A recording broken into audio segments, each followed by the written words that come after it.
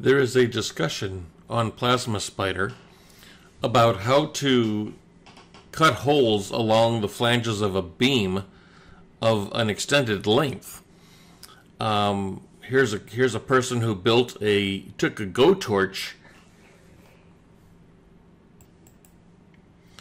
and connected several go torch rails together or or maybe they were DHC2 you know rails or whatever but he connected them together and these rails are currently 289 inches long and he's going to extend them another 4 feet to 337 inches I think it is and the situation is when you lay a beam on a conveyor belt here, the go torch gantry is supposed to go along and cut four holes and move to the next point on the beam and cut four holes and move to the next point, etc.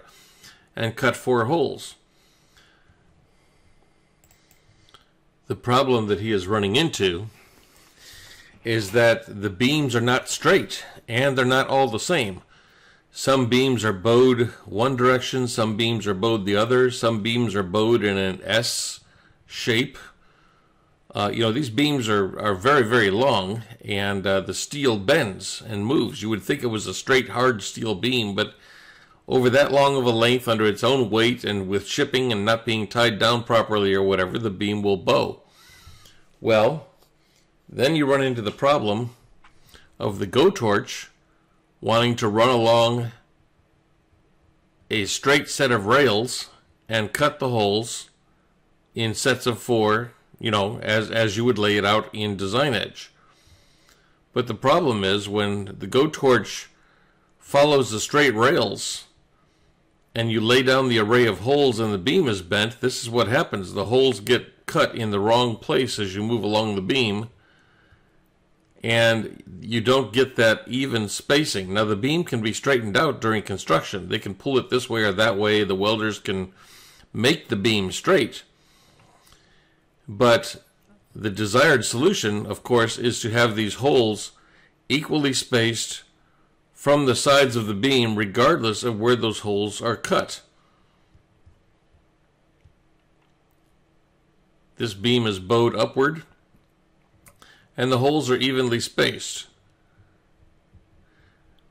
But you can't lay that pattern out in Design Edge because uh, there's no way to, to, to, measure the beam accurately and get the curves correct and everything. It would drive you crazy. So what you want to do is you want to lay down a straight pattern like this and you want to have some way to have the machine follow the curve of the beam to place those holes exactly here and here or exactly here and here, regardless of where that beam falls at that point on the travel along the conveyor belt.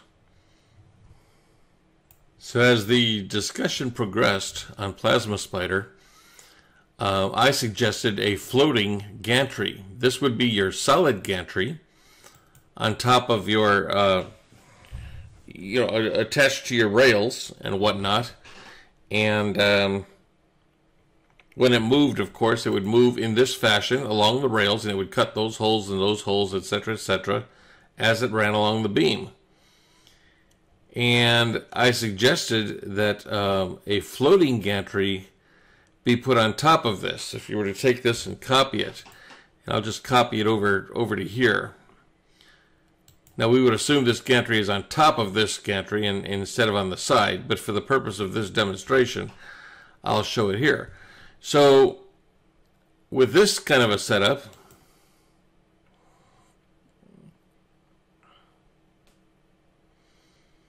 this is the this is the desired result here of what you want is you want the um, gantry I'll just copy it down to here. Okay, and as the gantry and carriage move from location to location along the solid rail, the floating gantry would shift, oops,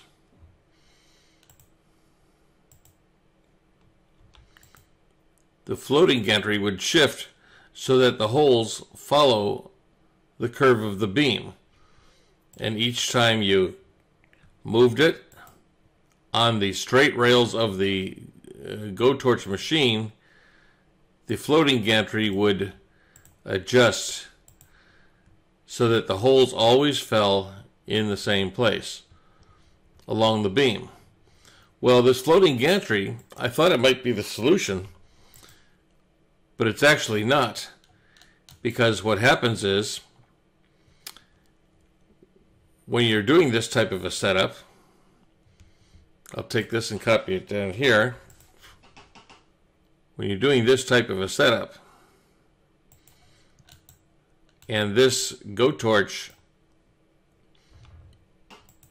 begins here.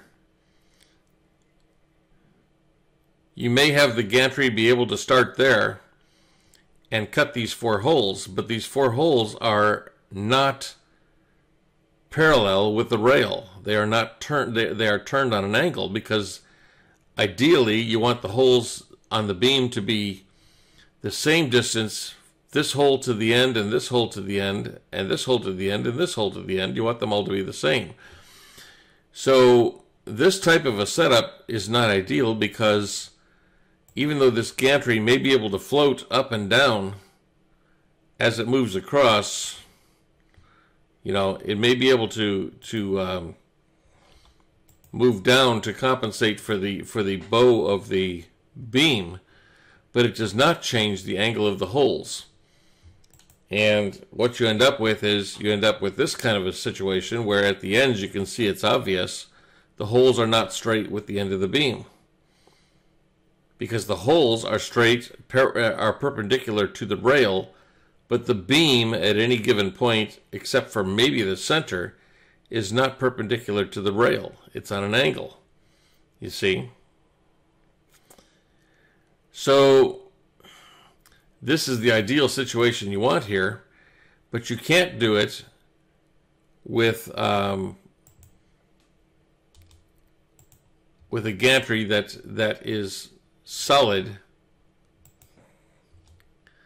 like so. What actually has to happen is this gantry needs to be able to change its orientation so that it follows the beam, it can maintain that 90 degree um, uh, corner with the beam, regardless of which holes it is cutting. Okay. And unfortunately, this gantry is moving on straight rails.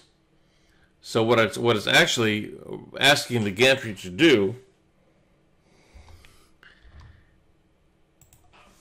is to rotate like this as it goes to one end and then it comes to the center here and then it comes to this end like this over here at the other end. And the gantry cannot rotate like that. But that is ideally the way to get these holes laid out the way you want them, which is equally spaced from the edge, from the one end of the beam to the other, and it doesn't matter what the shape of that beam is. If that beam is S-shaped, then this gantry needs to follow this path on the uh, uh, curve down so that the holes remain perpendicular. You see these holes are not lined up correctly, right? But here,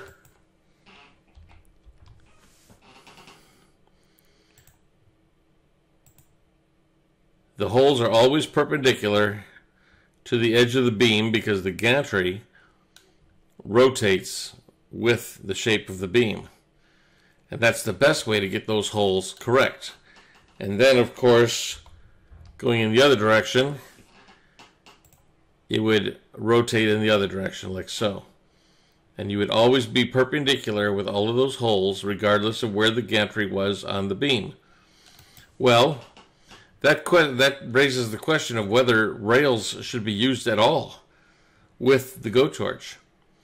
I'm thinking that these, this this gantry should be placed on some kind of a cart like this on the beam Uh, let me draw it here. We'll get a little closer so you can see it. Okay.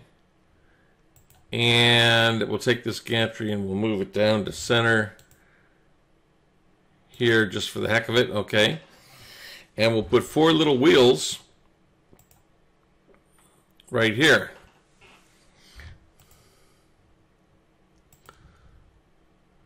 And I'm not drawing this accurately because I'm just doing a video at the moment. But if this cart here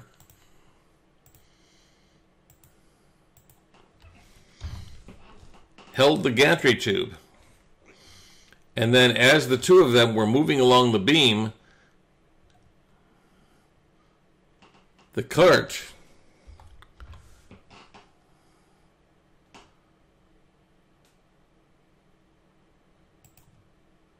would rotate with the beam, keeping the gantry parallel to the beam at all times. You see that?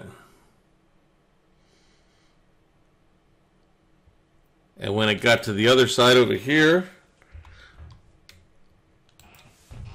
it would maintain a parallel orientation with any sec section or segment of the beam, even though the beam bends left or right over its length. The gantry would always be 90 degrees or very close to 90 degrees to the edge of the beam because it would follow that profile.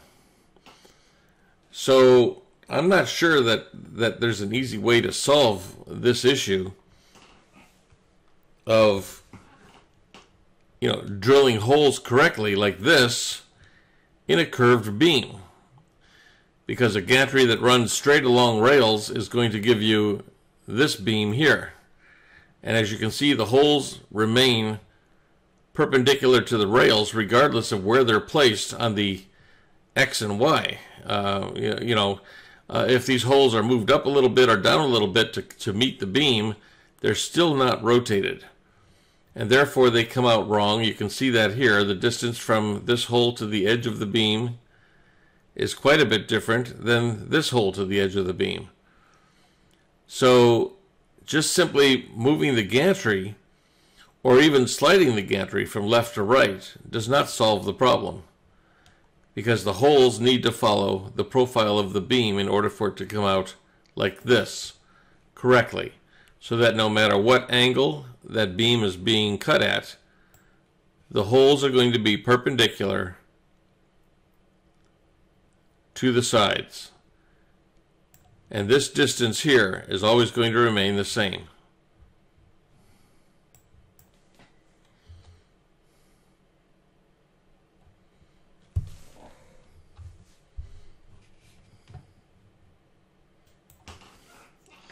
So in conclusion, I'm thinking that this is the best setup of all. These are reference holes I was going to use, but I'm not using them, so I'll just delete them. Um, the original poster was asking about changing the zero zero uh, or just one zero on the machine, and his idea was to have the carriage uh, come back to the limit switch without the gantry moving back to the home position. And then moving over to the next holes and moving out and cutting these holes, and then coming back to the limit switch and cutting these holes. And the problem again is the distance here changes as the beam is curved, or if the beam is S-shaped, the distance changes. So one way around that, um, if you're not too concerned about the holes being par uh, parallel with the with the beam, which would would bug the heck out of me uh, with OCD, that would just bug the heck out of me. But um, one way to do that would be instead of trying to move the zero of the machine, what you would do is you would take the machine in Design Edge, you would simply move the machine to the place where you want your first hole, wherever that would be, on the beam. Okay, you would move it. You would move it on the beam, and then you would take your pattern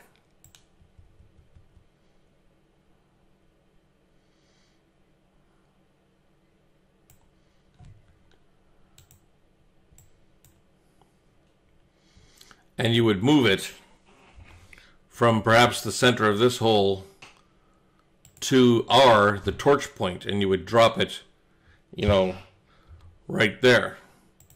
Okay? And then what would happen is you're cutting your four holes where you've placed the torch and you move the pattern to the torch location rather than trying to move the um, the zero zero in correspondence with the bending of the beam. So this is an interesting challenge and I do believe that this is the best solution. Let me get rid of these lines because I don't need them. Okay.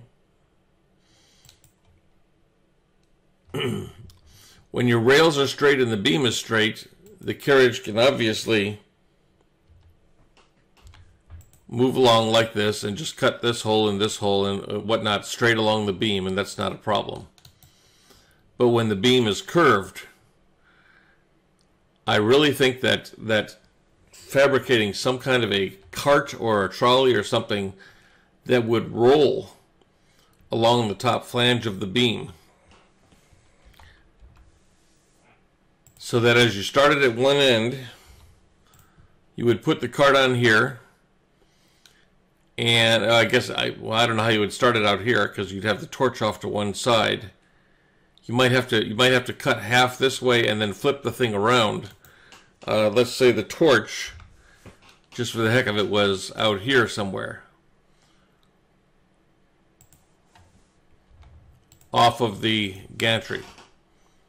Okay and the torch is the torch is moving back and forth like this cutting these holes as it goes through okay?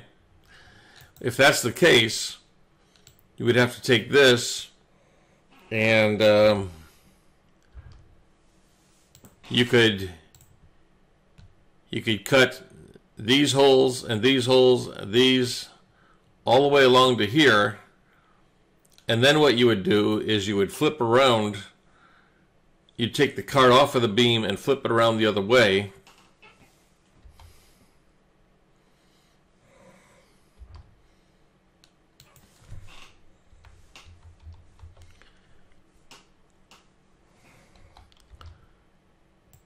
And then you would come back and you would cut those last four holes like so.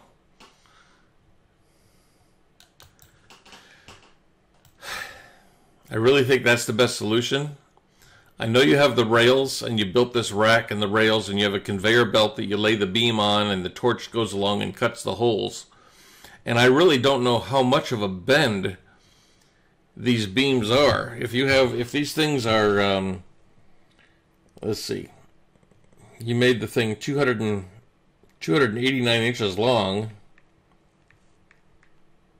So that's 24 feet. Uh, and if you're going if you're going another four feet, let's, let's just say you're gonna you're gonna you're dealing with 24 foot beams. Well, how much variance over 24 feet does the beam move from side to side? Are we talking a half an inch or four inches? You know, either way. it makes a big difference on, on how much this type of an error here is going to show up.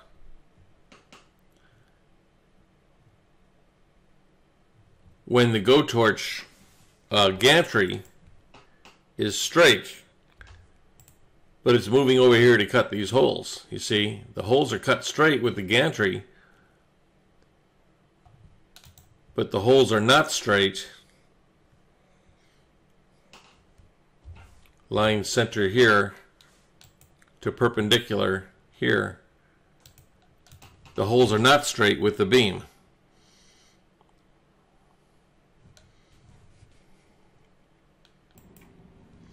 I really think this is the way to go on this. Uh, I'm going to have to build one of these. I've got go torches laying around here and parts and things. I might have to build one of these just for proof of concept and cut holes in a bent I-beam just to prove the concept. But I really think this would work.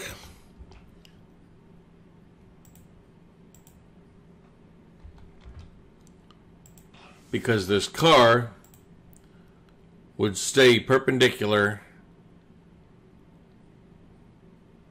to the end of the beam, regardless of which way the beam bent.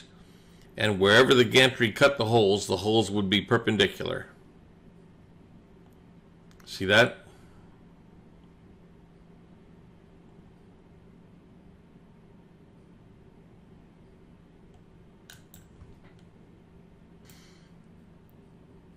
I do free online training on through Zoom and other online conferencing. Uh, you'd send me your name, address, and phone number, information about your computer, your software, your table, etc., and what it is you would like to learn. And uh, we will link our computers together over the internet free, and I will help you either learn how to use the software or how to work out a problem that you're having that you can't figure out on your own. Um, I just do this for fun. I don't charge for that unless I have to come out to your location. Then I do charge a daily fee because there's obviously, you know, gasoline and hotel and food and a lot of other expenses involved in traveling. But doing it from my home computer here, I don't charge anything. I do it for free and for fun. And uh, I look forward to hearing from you, and I hope you have enjoyed this video.